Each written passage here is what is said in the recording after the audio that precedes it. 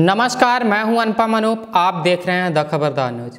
विदिशा ज़िले के पठारी में इन दिनों 1008 सिद्ध चक्र महामंडल विधान जैन धर्म का एक पावन पर्व चल रहा है, जिसके छाठवें दिन मुनिश्री अभय सागर महाराज जी के द्वारा भक्तों से कहा गया कि दान ऐसा करना चाहिए कि बाएँ हाथ से दान करने पर दाएँ हाथ को भी नहीं पता चले।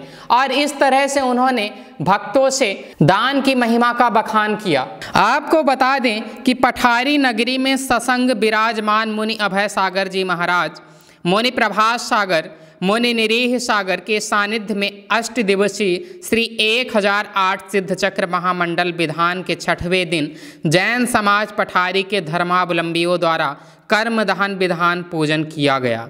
महाराज श्री अभय सागर ने अपने मंगल प्रवचन में कर्म दहन विधान मंडल पूजन ही की विशेषताएँ बताते हुए कहा कि जो धार्मिक अनुष्ठान करते हैं, उसके प्रति हमारे अंतरंग में ऐसे भाव होना चाहिए कि उसमें निर्मलता आ जाए।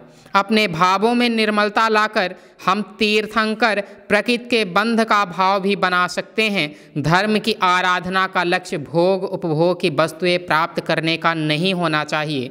दान की महिमा बताते हुए महाराज जी के द्वारा बताया गया कि दान ऐसा होना चाहिए कि अगर हम दाएँ हाथ से दान दें तो बाएँ हाथ को भी पता नहीं चलना चाहिए।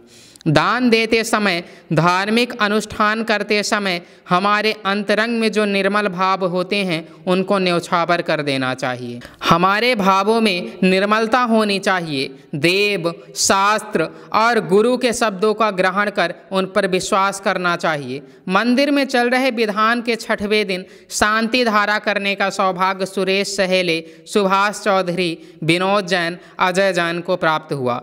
वहीं प्रमुख पात्रों इंद्रो आदि ने राकेश एंड पार्टी के स्वर लहरियों के बीच सिद्ध चक्र विधान करते हुए कर्म दहन के दो सौ छप्पन अर्ध मंडाले पर चढ़ाए।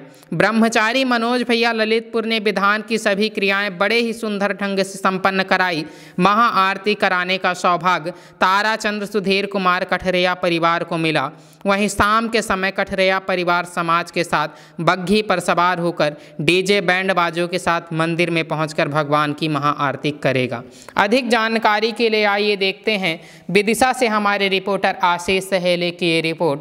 देखते रहिए द खबरदार न्यूज़।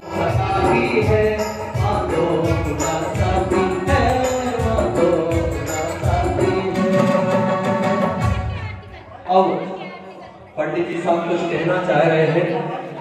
आ जाए पंडित जी साहब।